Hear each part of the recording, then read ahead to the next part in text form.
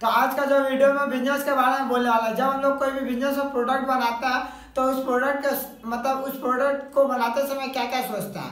तो पहले ये सोचेंगे कि जो चीज़ प्रोडक्ट बना रहा है, उसका मार्केट में डिमांड है कि नहीं?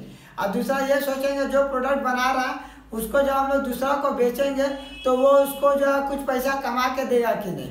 तो जब मतलब ऐसा सोचेंगे तो वो प्रोडक्ट बहुत ही क्या होगा अच्छा होगा। क्योंकि जब हम लोग प्रोडक्ट बनाता है ना तो उस समय हम लोग को ये सब चीज़ सोचना बहुत ज़्यादा इम्पोर्टेंट है मान लो कि हम लोग जो है प्लास्टिक बना। तो जब प्लास्टिक बनाया तो देखो, इसमें क्या प्रॉब्लम है कि प्लास्टिक इकोनॉमी फ्रेंडली नहीं है तो वो प्रदूषण फैलाता। है तो उस समय जब बनाएँगे तो उस समय हम लोग को कुछ भी काम करेंगे तो उसमें कुछ ना कुछ रुकावट आएगा। हम लोग किसको दोष देंगे? अपना नसीब को। कि हम लोग जो है, मैं, मेरा नसीब ही खराब है, कुछ साथ नहीं हो रहा। लेकिन नसीब खराब नहीं रहता। उस समय प्रॉब्लम क्या रहता? कि हम लोग जो है, भूल से गलत प्रोडक्ट को चूज़ कर लिया इसीलिए हम लोग को ये भी देखना पड़ेगा, जो प्रोडक्ट बना रहा है, वो इकोनॉमी फ्रेंडली है कि नहीं?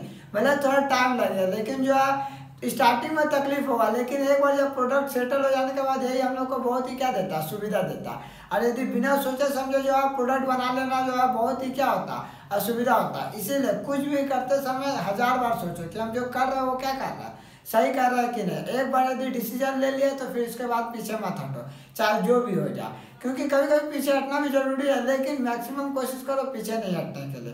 यदि आपको मेरा वीडियो अच्छा लगता है तो आप मेरा वीडियो क्या कर सकता है? लाइक कर सकते हैं शेयर कर सकता है सब्सक्राइब कर सकता हैं।